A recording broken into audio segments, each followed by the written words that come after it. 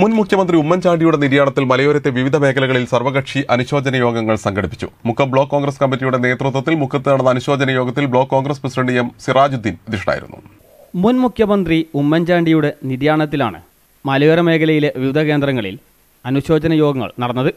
മൗനജാഥ സർവമത പ്രാർത്ഥന തുടങ്ങിയ പരിപാടികളും നടന്നു. മുക്കം ബ്ലോക്ക് കോൺഗ്രസ് കമ്മിറ്റിയുടെ നേതൃത്വത്തിൽ മുക്കത്ത് മൗനജാഥയും എസ് കെ പാർക്കിൽ സർവകക്ഷി അനുശോചന യോഗവും സംഘടിപ്പിച്ചു.